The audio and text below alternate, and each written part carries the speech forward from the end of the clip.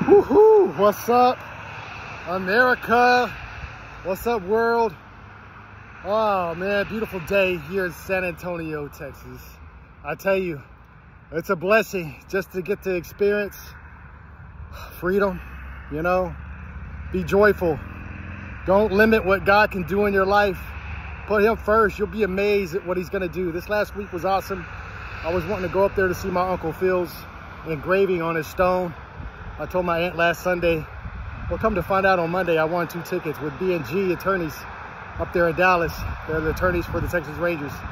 Sweet. I was in the suite with my daughter. It was so awesome. So uh, shout out to B&G again. You guys uh, were awesome hosts. Thanks for letting uh, me and my daughter experience that. And thank you, Texas Live, for sharing that as well, as I wouldn't have seen it unless you posted it. So uh, God bless you guys. Looking forward to get back to Live by Loews there.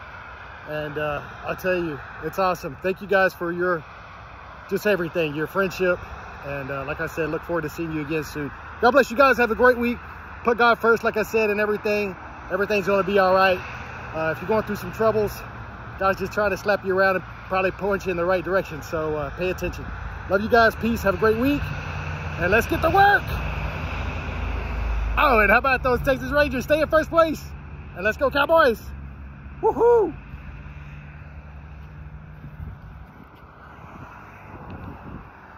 All right.